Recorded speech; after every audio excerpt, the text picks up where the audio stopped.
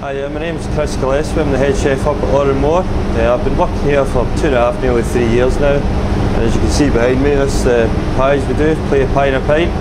Do it Monday to Saturday. It's very busy, especially this time of year, come up to Christmas.